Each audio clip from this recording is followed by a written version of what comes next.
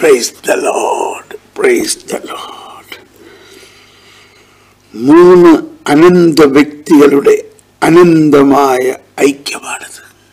ത്രിത്വൈക ദൈവം. ആ ത്രിത്വം നമ്മളുമായിട്ട് ഐക്യപ്പെട്ടിരിക്കുന്നതാണ് നമ്മുടെ ഏറ്റവും വലിയ നിധി. അനാദി മുതൽ അനന്തത വരെ ആയിരിക്കുന്നവനും ആയിരുന്നവനും വരാനിരിക്കുന്നവനും ആയ അവൻ ഇപ്പോൾ നമ്മളോട് കൂടെ തന്നെയുണ്ട്. എന്തോ ഒരു വലിയ വിസ്മയം. സ്നേഹമുള്ളവരെയും തോലിക്ക സഭയുടെ മതബോധന പഠനക്കളരിയിൽ തൊണ്ണൂറ്റി മുപ്പത്തി ഒന്നാമത്തെ എപ്പിസോഡാണിത്. മതബോധന പഠനത്തിന്റെ യഥാർത്ഥ ആഴങ്ങൾ കണ്ടുകൊണ്ടിരിക്കുകയാണ് അനുഭവിച്ചുകൊണ്ടിരിക്കുകയാണ് ഈ കഴിഞ്ഞ പരിശുദ്ധ തീർത്ഥത്തെക്കുറിച്ചുള്ള ഒരു ദിവസത്തെ ക്ലാസ് ആണെങ്കിലും അത് ഒരായിരം വർഷത്തെ അനുഭവത്തിലേക്ക് നമ്മൾ ലയിച്ചിരിക്കുന്ന മാതിരിയാണ് തോന്നുന്നത്. അങ്ങനെ ഇടയ്ക്കിടയ്ക്ക് വലിയ ആഴമായ പ്രബോധനങ്ങളും അതിലടങ്ങിയിരിക്കുന്ന ഉൾക്കാഴ്ചകളും വീണ്ടും വീണ്ടും നമ്മൾ ധ്യാനിക്കാൻ വേണ്ടി നമുക്ക് ലഭിക്കും. അതോടൊപ്പം മറ്റൊരു വലിയ കണ്ടെത്തലാണ് കിഴക്കിന്റെ വെളിച്ചം.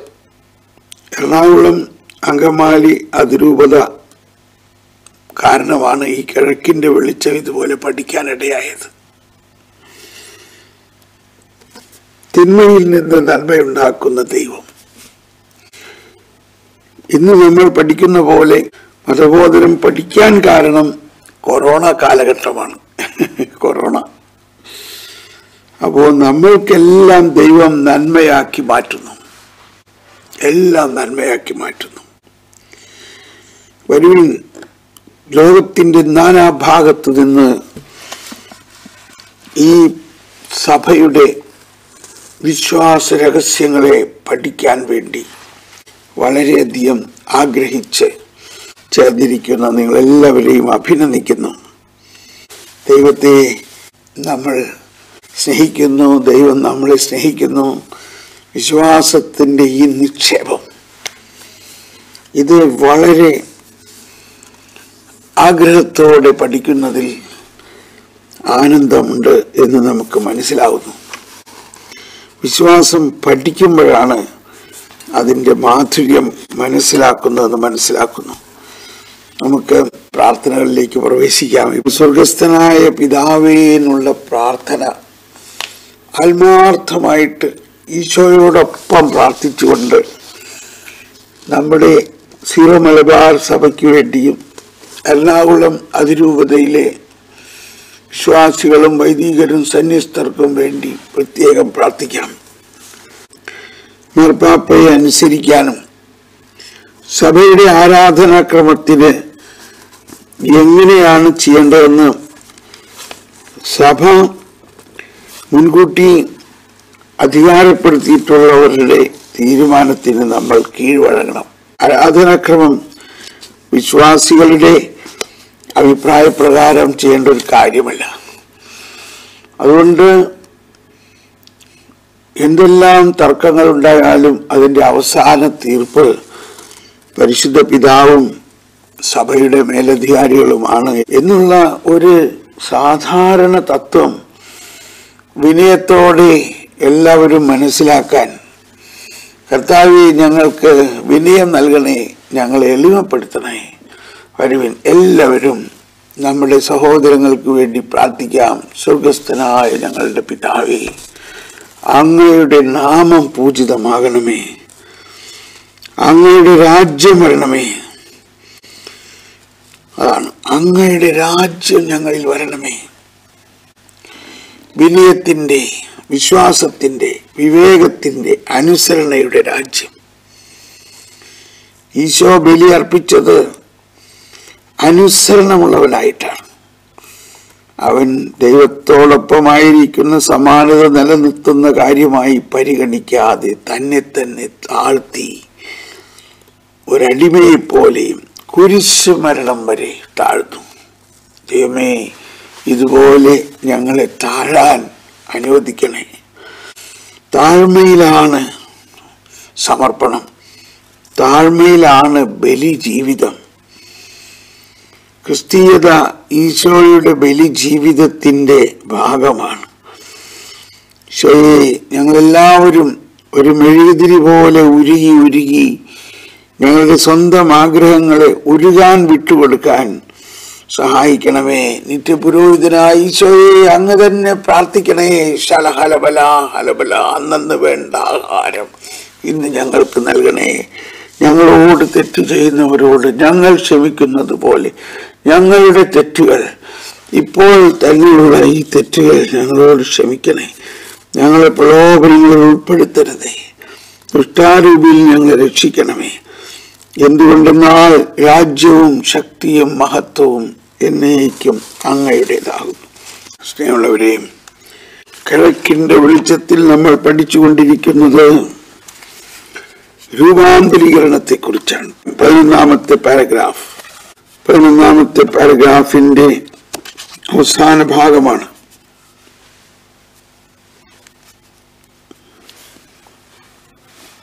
അതിൽ കഴിഞ്ഞ ദിവസം നമ്മൾ പഠിച്ചത് മനുഷ്യ വ്യക്തിയുടെ ഐക്യത്തെ പാപം താറുമാറാക്കിയത് നമുക്കറിയാവുന്ന കാര്യമാണ്.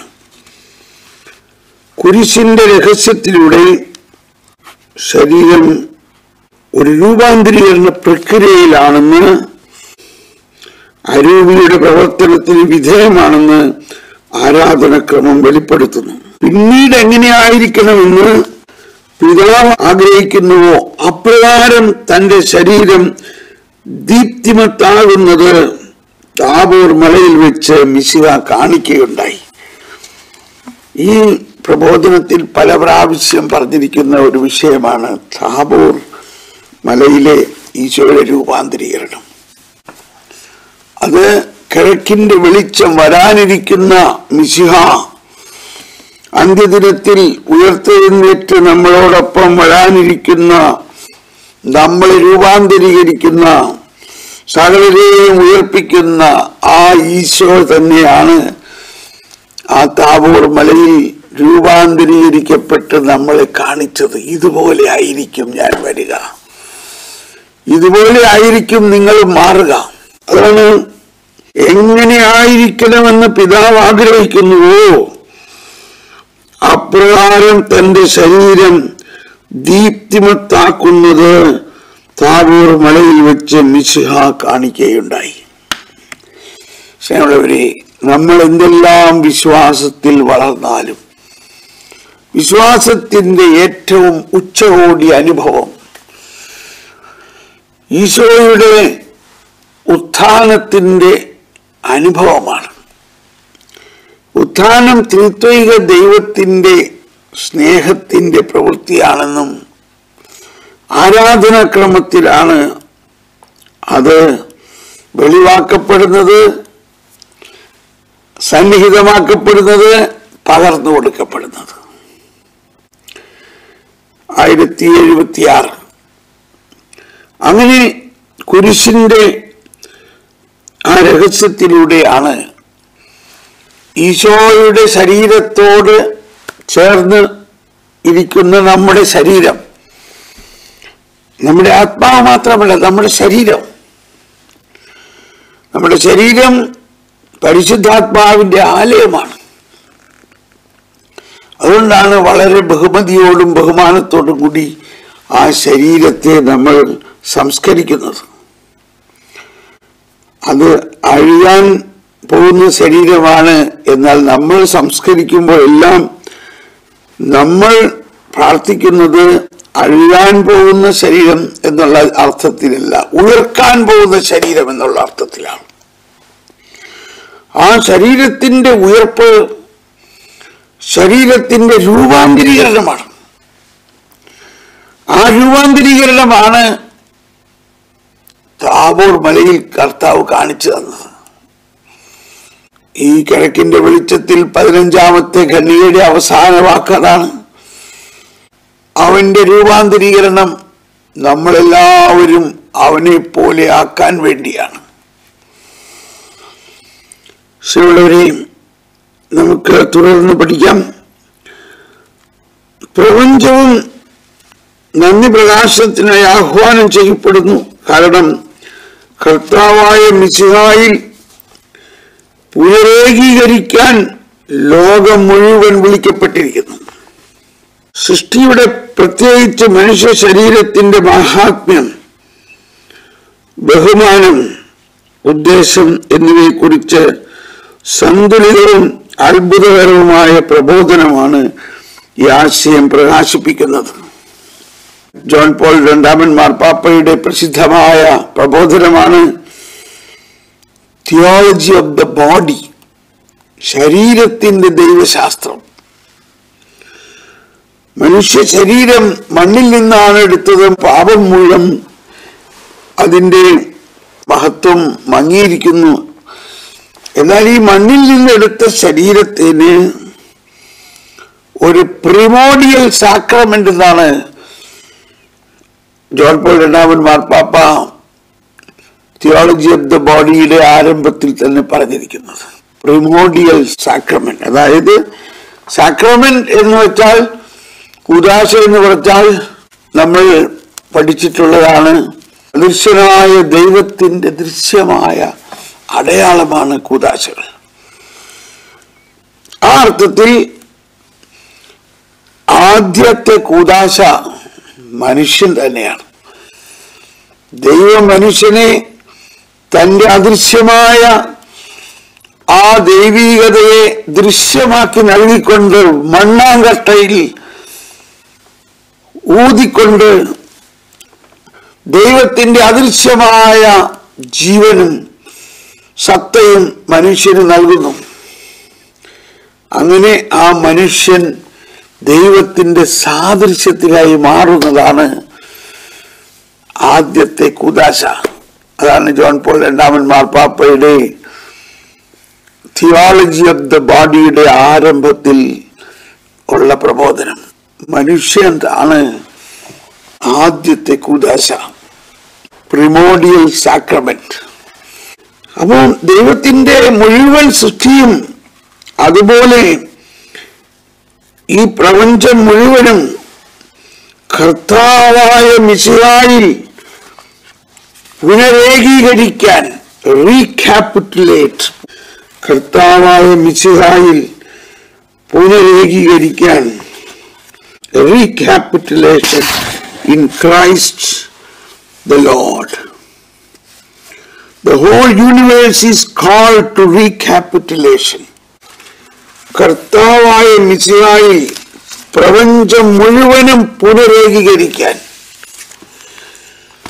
അപ്പോ ഒന്ന് മനുഷ്യരെല്ലാവരും എല്ലാ ജാതി മതസ്ഥരും ക്രിസ്തുവിന്റെ ശരീരത്തിൽ ഒരു മനുഷ്യൻ പോലെയാണ്. എന്നാൽ മനുഷ്യൻ മാത്രമല്ല അതാണ് ഇവിടെ പറയുന്നത് സൃഷ്ടിപ്രപഞ്ചം മുഴുവനും. അത് പറയുന്നതിന്റെ കാരണം കർത്താവും ജീവദാതാവും എന്ന പ്രബോധനത്തിൽ മനുഷ്യാവതാര രഹസ്യത്തെ കുറിച്ച് പഠിപ്പിച്ചപ്പോൾ പറഞ്ഞിട്ടുള്ള ഒരു കാര്യമാണ് അമ്പതാമത്തെ ഖണ്ഡികയിലാണ്. അമ്പതാമത്തെ ഖണ്ഡികയിലെ അവസാനം പറയുന്നത് മനുഷ്യപ്രകൃതിയെ മാത്രമല്ല ഈ മാനുഷിക പ്രകൃതിയിൽ ഒരർത്ഥത്തിൽ മാംസമായിട്ടുള്ള എല്ലാറ്റിനെയും ദൈവമായുള്ള ഐക്യത്തിലേക്ക് സ്വീകരിക്കുന്നുവെന്ന് പുത്രനായ ദൈവത്തിന്റെ മനുഷ്യാവതാരം സൂചിപ്പിക്കുന്നു. മനുഷ്യവംശത്തെ മുഴുവനും ദൃശ്യവും ഭൗമികവുമായ മുഴുവൻ ലോകവും അപ്പോൾ മനുഷ്യാവതാരത്തിന് ഒരു പ്രാപഞ്ചിക പ്രാധാന്യമുണ്ട്. ഒരു പ്രാപഞ്ചിക മാനമുണ്ട്. സൃഷ്ടിയുടെ എല്ലാം ആദ്യജാതനായവൻ ഒന്ന് പതിനഞ്ച്. ക്രിസ്തുവിന്റെ മനുഷ്യത്വത്തിൽ ശരീരം ധരിച്ചുകൊണ്ട് മുഴുവൻ മാനുഷിക യാഥാർത്ഥ്യവുമായി ഒരു പ്രത്യേക വിധത്തിൽ തന്നെ തന്നെ ഐക്യപ്പെടുത്തുന്ന ആ യഥാർത്ഥവും മാംസമാണ്. ഉൽപ്പത്തി ഒമ്പത് പതിനൊന്ന് നിയമാവർത്തനം അഞ്ച് ഇരുപത്തി ആറ് ജോബ് മുപ്പത്തിനാല് പതിനഞ്ച് ഏഷ്യ നാൽപ്പത് ആറ് നാൽപ്പത്തിരണ്ട് പത്ത് സങ്കീർത്തനം നൂറ്റി നാൽപ്പത്തി അഞ്ച് നൂറ്റി നാൽപ്പത്തിനാല് ഇരുപത്തി ഒന്ന് ലൂക്ക മൂന്ന് ആറ് ഒന്ന് പത്രോസ് ഒന്ന് ഇരുപത്തിനാല്. ഇതെല്ലാം ഉദ്ധരിച്ചുകൊണ്ടാണ്. ആ യാഥാർത്ഥത്തിൽ എല്ലാ മാംസത്തോടും സൃഷ്ടി മുഴുവനോടും തന്നെ തന്നെ ഐക്യപ്പെടുത്തുന്നു. ഉണ്ടോ അമ്പതാമത്തെ ഖണ്ഡിക. സൃഷ്ടി മുഴുവനോടും.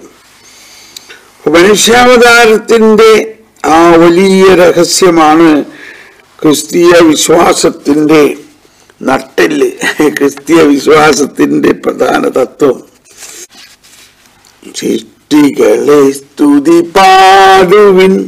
ഇതെല്ലാം ഓർക്കുകയാണ് ഇപ്പോൾ അതുപോലെ തന്നെ വിശുദ്ധ കുർബാന അർപ്പണത്തിൽ നമ്മൾ പാടുന്നത് അമ്പരമനവരതം ദൈവമഹത്വത്തെ വാഴ്ത്തി പാടുന്നു എന്നപോലെ ഈ ആരാധനാ ക്രമത്തിൽ ഉള്ള നിറങ്ങളും മലങ്കര കുർബാന അർപ്പിക്കുമ്പോൾ മലങ്കര കുർബാനയുടെയും ആ, വേദി ഒരുക്കുമ്പോൾ ആ ബലിവേദിയിൽ അണിഞ്ഞിരിക്കുന്ന പ്രത്യേക തിരുവസ്ത്രത്തിൽ ശ്രദ്ധിക്കാം. പച്ചയാണ് പച്ച ബോർഡറാണ്. വലിയ പച്ച ബോർഡറിന്റെ അകത്ത് ചുമന്ന പട്ടുകൊണ്ടുള്ള ചിത്രീകരണങ്ങൾ അതിന്റെ അർത്ഥം ഈ പച്ച ബോർഡറിന്റെ അർത്ഥം ദൈവം ഈ സൃഷ്ടി പ്രപഞ്ചത്തെ മുഴുവനും തന്റെ പുത്രനിലൂടെ സൃഷ്ടിക്കുകയും ആ സൃഷ്ടി പ്രപഞ്ചത്തെ മുഴുവനും ഈ കുർബാനയിൽ ഈ ബലി അർപ്പണത്തിൽ രൂപാന്തരീകരിക്കുന്നു എന്നുള്ള രഹസ്യമാണ്. ശ്രീമുള്ളവരെയും നമ്മുടെ പ്രാർത്ഥനകളിലെല്ലാം അങ്ങനെയുള്ള ആശയം തുടിക്കുന്നുണ്ട്. പ്രപഞ്ചവും നന്ദി പ്രകാശത്തിനായി ആഹ്വാനം ചെയ്യപ്പെടുന്നു. കാരണം കർത്താവായ മിശിഹായിൽ പുനരേകീകരിക്കാൻ ലോകം മുഴുവനും വിളിക്കപ്പെട്ടിരിക്കുന്നു. കർത്താവായ മിശിഹായിൽ പുനരേകീകരിക്കാൻ വീണ്ടെടുക്കപ്പെടാൻ റീക്യാപിറ്റുലേഷൻ ലോകം മുഴുവനും വിളിക്കപ്പെട്ടിരിക്കുന്നു. സൃഷ്ടിയുടെ പ്രത്യേകിച്ച് മനുഷ്യ ശരീരത്തിന്റെ മാഹാത്മ്യം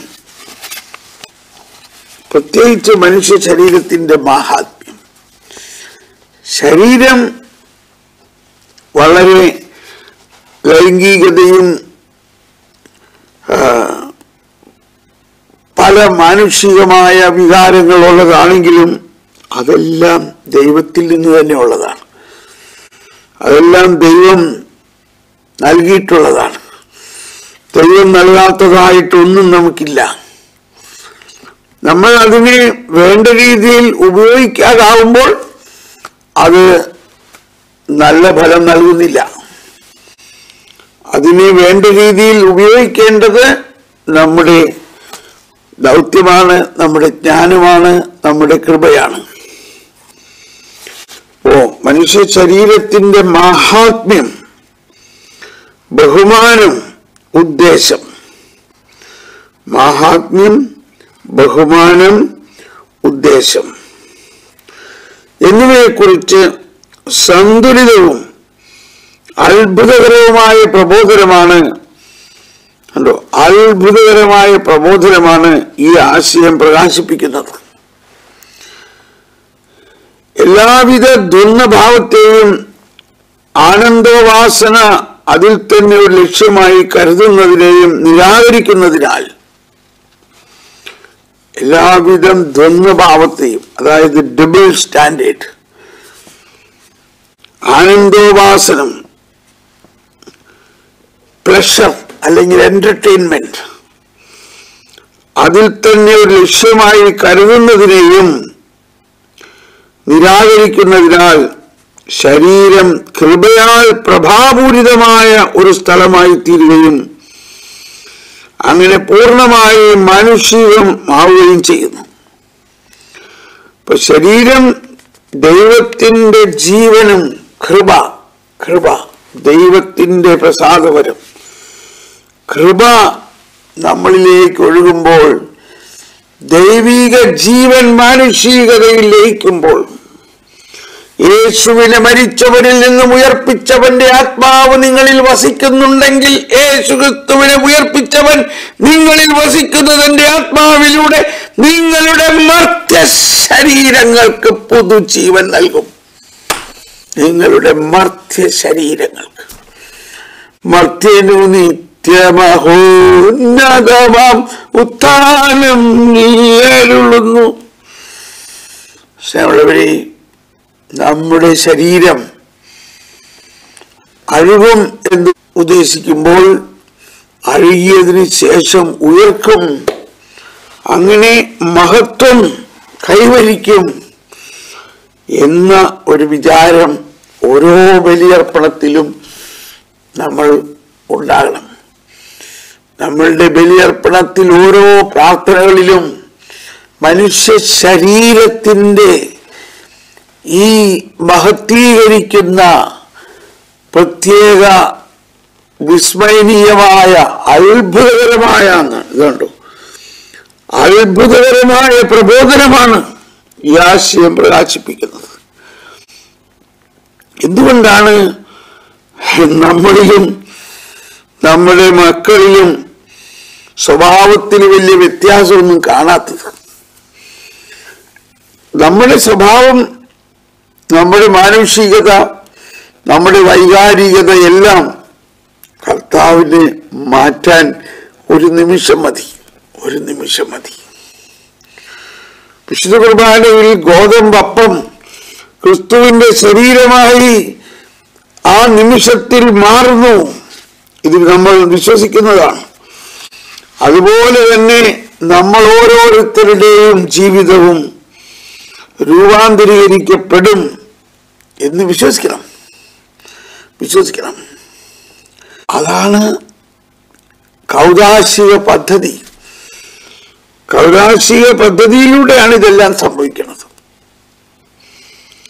അതാണ് കിഴക്കൻ സന്യാസത്തിന്റെയും കിഴക്കൻ ആരാധനയുടെയും കേന്ദ്ര ബിന്ദു അപ്പോൾ ശരീരം കൃപയാൽ പ്രഭാപൂരിതമായ ഒരു സ്ഥലമായി തീരുകയും അങ്ങനെ പൂർണമായി മാനുഷികമാവുകയും ചെയ്യുന്നു. പൂർണമായി മാനുഷികമാവുന്നു. അതായത് ക്രിസ്തുവിനെ പോലെ തന്നെ നമ്മൾ ആവുന്നു നമ്മൾ മറ്റൊരു ക്രിസ്തുവായി മാറുന്നു. ഇപ്പൊ നമ്മുടെ മാനുഷികത ആ ദൈവസ്നേഹത്താൽ പൂരിതമല്ല. നമ്മളെല്ലാവരെയും മനുഷ്യരായി തന്നെ കാണുന്നു. എന്നാൽ മനുഷ്യരെ ദൈവങ്ങളായി കാണാൻ നമുക്ക് സാധിക്കണം. ഈശോ എല്ലാവരെയും പാപികളായ മനുഷ്യരെ അവരുടെ പാപത്തെ അല്ല ഈശോ കണ്ടത്. ഈശോ മലയിലെ പ്രസംഗത്തിൽ പറഞ്ഞത് ഇതാണ് ബ്ലസ്സഡ് ആർ യു നിങ്ങൾ ഭാഗ്യവാന്മാർ നിങ്ങൾ അനുഗ്രഹിക്കപ്പെട്ടവർ. നിങ്ങൾ അനുഗ്രഹിക്കപ്പെടും എന്നല്ല പറഞ്ഞതെന്ന് ഫ്രാൻസിസ് മാർപ്പാപ്പ പറഞ്ഞത് ഓർക്കണം. ബ്ലെസ്സഡ് ആർ യു എന്തുകൊണ്ടാ? നിങ്ങൾ അനുഗ്രഹിക്കപ്പെട്ടവരാകുന്നു. എന്തുകൊണ്ടാ? മനുഷ്യാവതാരത്തിൽ തന്നെ നിങ്ങളെല്ലാവരും എന്റെ ശരീരത്തിന്റെ ഭാഗമാണ്. മനുഷ്യവംശം മാത്രമല്ല സൃഷ്ടി പ്രപഞ്ചം തന്നെ എന്റെ ശരീരത്തിന്റെ ഭാഗമാണ്.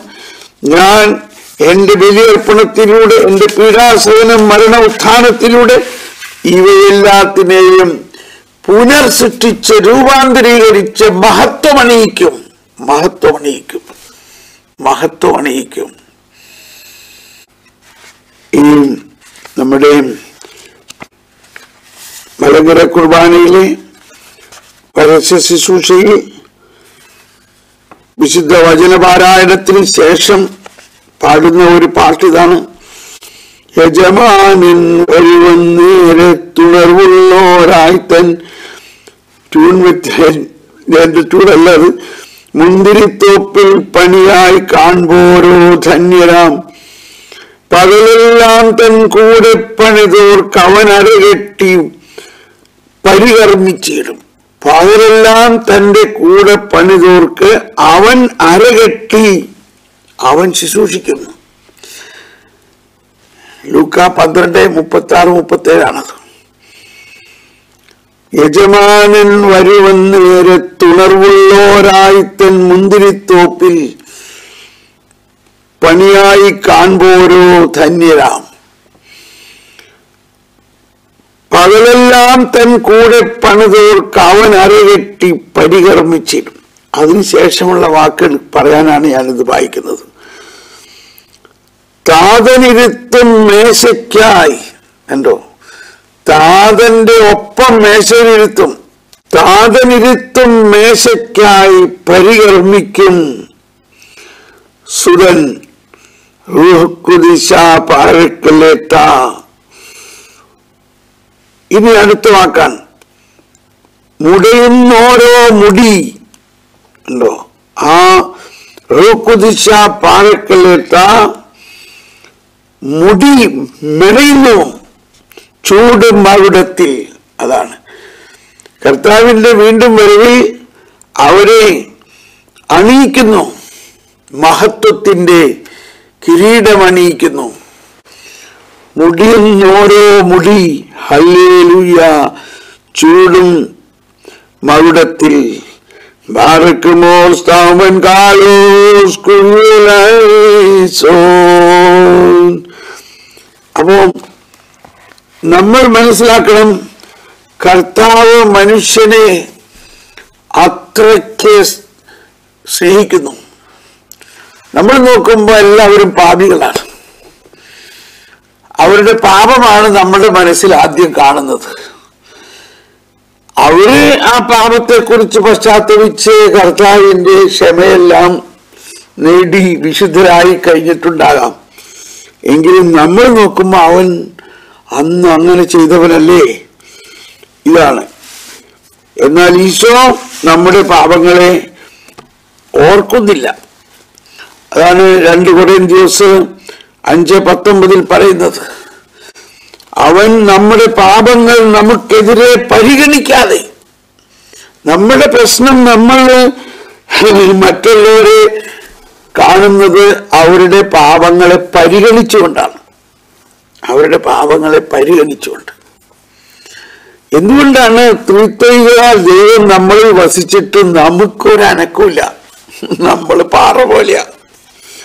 കാരണം ത്രിത്വിക ദൈവത്തിന്റെ ആ സ്നേഹം നമ്മുടെ ഹൃദയത്തിൽ തുടിക്കുന്നില്ല. ത്രിത്വിക ദൈവത്തിന്റെ സ്നേഹം പിതാവും പുത്രനും പരിശുദ്ധാത്മാവും ഒന്നിച്ചുള്ള ആ സ്നേഹം ലോകത്തിന് കർത്താവ് നൽകി. അതാണ് ദൈവം ലോകത്തെ ഇത്രമാത്രം സ്നേഹിച്ചു. അവരെ ആയിരിക്കുന്ന അവസ്ഥയിൽ സ്നേഹിച്ചു. പാപികളായിരിക്കെ സ്നേഹിച്ചു.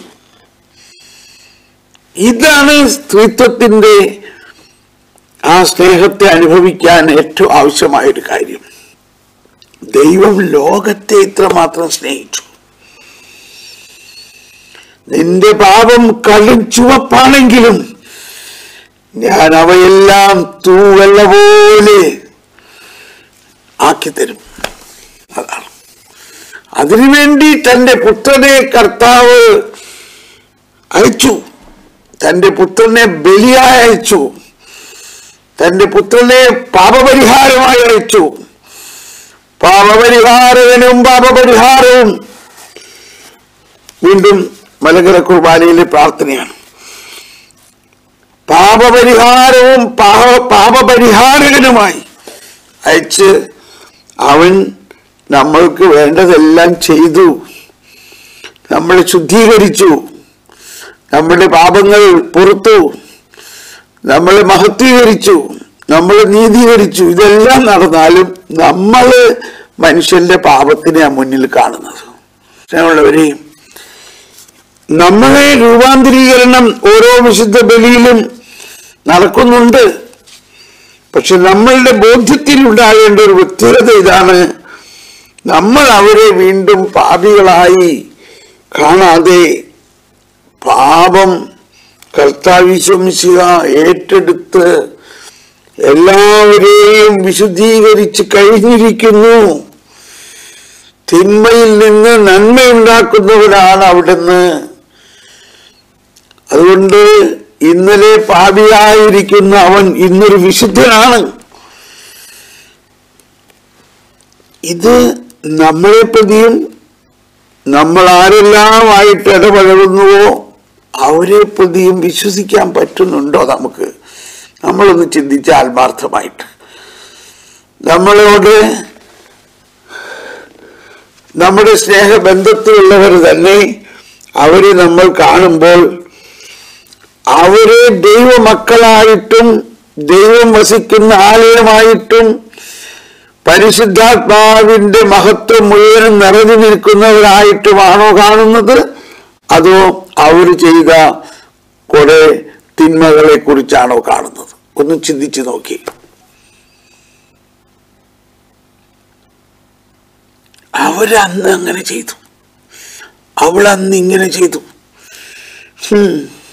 ആൾ മോശമല്ല ഇങ്ങനെ നമ്മൾ എല്ലാവരെയും കാണുന്നത് നിർത്തണം. നിർത്തണം. എങ്കിലേ ഈ ദൈവരാജ്യവും ഈ രൂപാന്തരീകരണവും ഈ കൃപ ശരീരം കൃപയാൽ പ്രഭാപൂരിതമായ ഒരു സ്ഥലമായി തീരുകയും അങ്ങനെ പൂർണമായി മനുഷ്യനാവുകയും ചെയ്യുന്നു എന്നുള്ള അവസ്ഥ. മറ്റുള്ളവരുടെ ഹിസ്റ്ററി അന്വേഷിക്കാതെ നമ്മുടെ പ്രാർത്ഥനാ ഗ്രൂപ്പിൽ ഒരാൾ വരാൻ പോകുന്നുണ്ടെങ്കിൽ അവന്റെ ഹിസ്റ്ററി കണ്ടുപിടിക്കാനും അവനെ കുറിച്ചുള്ള റിപ്പോർട്ട് ഉണ്ടാക്കാനൊന്നും നമ്മൾ നടക്കാതെ കർത്താവി അങ്ങ് സ്വന്തം രക്തത്തിന്റെ വില കൊടുത്ത് വാങ്ങിയവനാണ് അവൻ. അങ്ങ് വിശുദ്ധീകരിച്ചവരുടെ നേരെ ആര് കുറ്റം ആരോപിക്കും? കർത്താവ് ശമിശയായോ കർത്താവ് ശമിശയ ഇപ്പോൾ സ്വർഗത്തിലിരുന്ന് അവർക്ക് വേണ്ടി പ്രാർത്ഥിച്ചുകൊണ്ടിരിക്കുകയാണ്.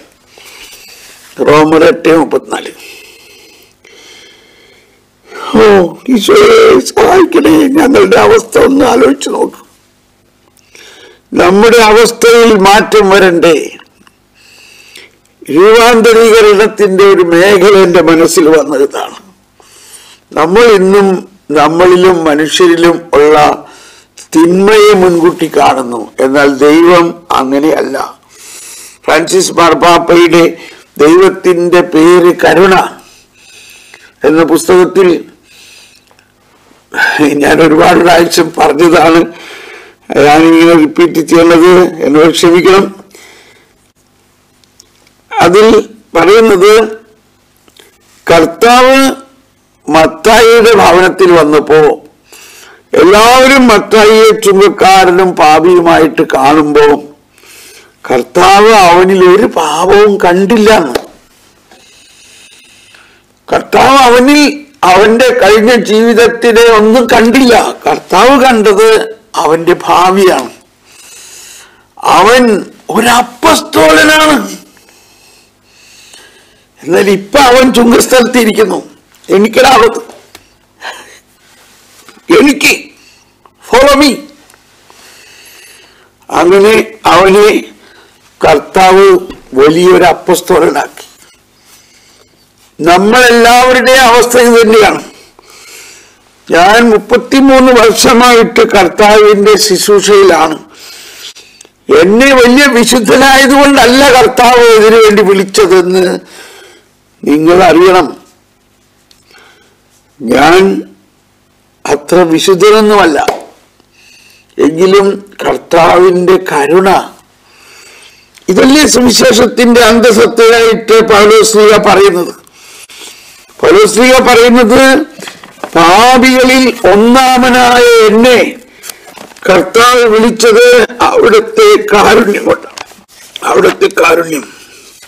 തീത്തോസ് മൂന്ന് നാല്. എന്നാൽ നമ്മുടെ രക്ഷകനായ ദൈവത്തിന്റെ നന്മയും സ്നേഹം നിറഞ്ഞ കാരുണ്യവും വെളിപ്പെട്ടപ്പോൾ അവിടുന്ന് നമുക്ക് രക്ഷ നൽകി. അത് നമ്മുടെ നീതിയുടെ പ്രവൃത്തിയായതുകൊണ്ടല്ല. കൊണ്ടല്ല പിന്നെയോ അവിടുത്തെ കാരുണ്യം മൂലം പരിശുദ്ധാത്മാവിൽ അവിടുന്ന് നിർവഹിച്ച പുനരുജ്ജീവനത്തിന്റെയും നവീകരണത്തിന്റെയും ജ്ഞാനത്താലത്തെയും ദൈവം നമ്മുടെ രക്ഷകനായ യേശു ക്രിസ്തുവിലൂടെ പരിശുദ്ധാത്മാവിനെ നമ്മുടെ മേൽ സമൃദ്ധമായി വർഷിച്ചത് അവിടുത്തെ കൃപാവരത്താൽ നാം നീതീകരിക്കപ്പെടുന്നതിനും നിത്യജീവനെ പറ്റിയുള്ള പ്രത്യാശയിൽ നാം അവകാശികളാകുന്നതിനും വേണ്ടിയാണ്. കണ്ടോ? ഞാൻ തുറന്നപ്പോൾ കിട്ടിയ വചനമാണ് ഇതിനു വേണ്ടിയാണ് തുറന്നത്. പക്ഷെ ഞാൻ തിമോത്യോസിന്റെ ലേഖനത്തിലെ മറ്റൊരു വചനം ഉദ്ദേശിച്ചിട്ടാണ് തുറന്നത്. പൗലോസ്ലിയ പറഞ്ഞു ഞാൻ പാപികളിൽ ഒന്നാമനാണ്. തിമോത്യോസിന് എഴുതിയ ലേഖനത്തിൽ ഒന്ന് തിമത്തി ഒന്ന് പതിനാറ്. ആ പതിനാല് മുതൽ വായിക്കാം. കർത്താവിന്റെ കൃപ യേശുക്രിസ്തുവിലുള്ള വിശ്വാസത്തോടും സ്നേഹത്തോടും അപ്പം എന്നിലേക്ക് കവിഞ്ഞൊഴുകി. യേശുക്രിസ്തു ലോകത്തിലേക്ക് വന്നത് പാപികളെ രക്ഷിക്കാനാണ് എന്ന പ്രസ്താവം വിശ്വസനീയവും തികച്ചും സ്വീകാര്യവുമാണ്. പാപികളിൽ ഒന്നാമനാണ് ഞാൻ. എങ്കിലും എനിക്ക് കാരുണ്യം ലഭിച്ചു. അത് നിത്യജീവൻ ലഭിക്കാൻ യേശുക്രിസ്തുവിൽ വിശ്വസിക്കാനിരിക്കുന്നവർക്ക് ഒരു മാതൃകയാകത്തക്ക വിധം. പാപികളിൽ ഒന്നാമനായ എന്നിൽ അവന്റെ പൂർണമായ ക്ഷമ പ്രകടമാവുന്നതിനു വേണ്ടിയാണ്. യുഗങ്ങളുടെ രാജാവും അനശ്വരനും അദൃശ്യനുമായ ഏക ദൈവത്തിന് എന്നേക്കും ബഹുമാനവും മഹത്വവും ഉണ്ടാവട്ടെ. അല്ലോ അപ്പൊ ഇവിടെ പൗലോസ്ലിയ അത് ഏറ്റെടുത്തു. പാവികളിൽ ഒന്നാമനാണ്. ഒന്നാമൻ ഒരാൾക്ക് ആകാൻ പറ്റുള്ളൂ. അപ്പൊ നമ്മളൊക്കെയോ? നമ്മളൊക്കെ ആരാ? നമ്മളൊക്കെ പാപികളിൽ രണ്ടാമനേ ഉള്ളൂ. ഒന്നാമൻ പൗലോസാണ്. അപ്പൊ നമുക്കുണ്ടാകേണ്ട ഈ രൂപാന്തരീകരണം നമുക്കുണ്ടാകണമെങ്കിൽ നമ്മൾക്കുണ്ടാകേണ്ട ഒരു വിശ്വാസം ഇതാണ്. യേശു ക്രിസ്തു സകല മനുഷ്യരെയും അവരുടെ പാപങ്ങൾ ഏറ്റെടുത്തു വിശുദ്ധീകരിച്ചിരിക്കുന്നു. ഇനി നമ്മുടെ വിശുദ്ധീകരണത്തിന് വേണ്ടി ഈശോമിശിക വീണ്ടും കുരിശിൽ കയറുമോ? ഭൂലോക പാപം നീക്കുന്ന ദൈവത്തിന്റെ ചമ്പിരി ആട്ടിൻകുട്ടിയായി ഈശോ തമ്പുരാനെ എന്ന് നമ്മൾ എല്ലാ ദിവസവും പ്രാർത്ഥിക്കുന്നത് എന്തർത്ഥത്തിലാണ്? അപ്പൊ നമ്മുടെ ഹൃദയത്തിൽ തന്നെ ദൈവാനുഭവത്തിന്റെ പൂർണതയില്ല. എന്തുകൊണ്ടാണ് പൂർണതയില്ലാത്തത് നമ്മൾ ഈ സത്യം ഇത് സത്യമാണ്. ഇത് സത്യമാണ്. അതാണ് ഈശോ ക്രിസ്തു പറഞ്ഞത്. ഞാൻ സത്യമാണ്. ഈശോമിശിഹായിൽ നിന്ന് സത്യമേ വരുവുള്ളൂ അതാണ്. എല്ലാവിധ ദ്വന്ദ്ഭാവത്തെയും ആനന്ദോപാസന അതിൽ തന്നെ ഒരു ലക്ഷ്യമായി കരുതുന്നതിനെയും നിരാകരിക്കുന്നതിനാൽ ശരീരം കൃപയാൽ പ്രഭാപൂരിതമായ ഒരു സ്ഥലമായി തീരുകയും അങ്ങനെ പരിപൂർണ മാനുഷികമാവുകയും ചെയ്യുന്നു. ഇന്ന് തന്നെ നിങ്ങൾ ഇതൊന്ന് മനസ്സിൽ കാണും. നമ്മുടെ മനസ്സിൽ കാണുന്ന വ്യക്തികളെ അവരുടെ പാപം കാണാതെ അവരിലുള്ള ദൈവത്തെ കാണും. അങ്ങനെ ഒന്ന് പ്രാക്ടീസ് ചെയ്തേ.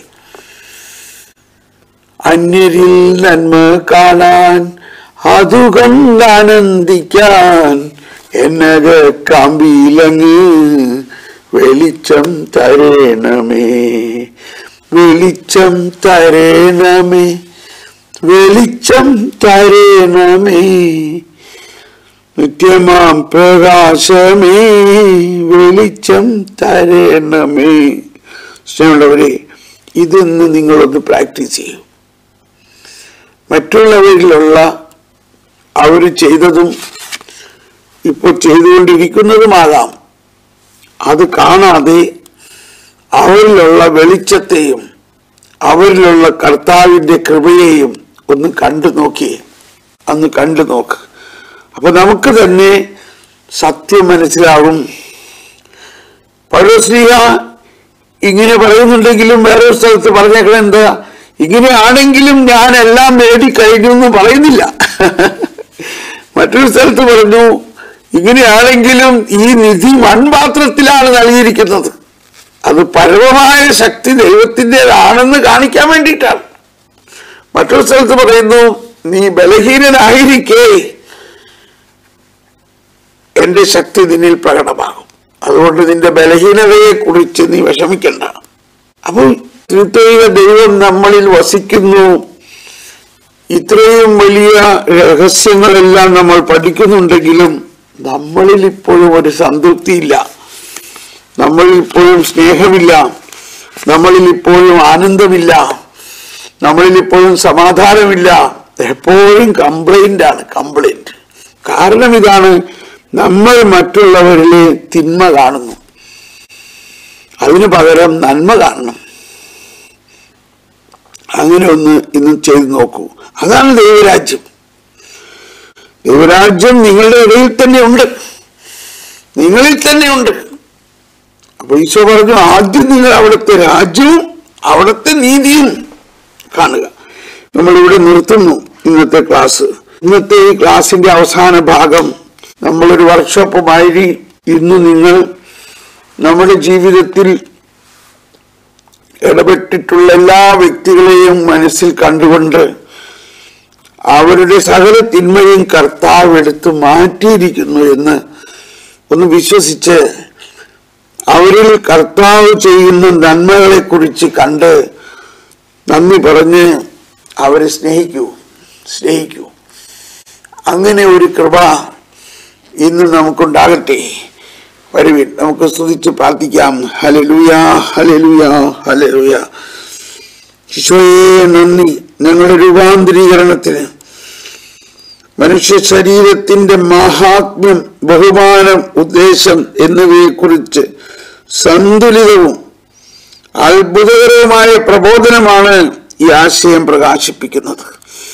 ശലഹല ബല ബല ബല ബല ബല ബല ബല കർത്താവേ അങ്ങ് സകലത്തെയും രൂപാന്തരീകരിക്കുന്ന ആ താവൂർ മലയിൽ മനുഷ്യൻ രൂപാന്തരീകരിക്കപ്പെട്ട് കണ്ട ആ അവസ്ഥ നമ്മൾ ഓരോരുത്തർക്കും തരും.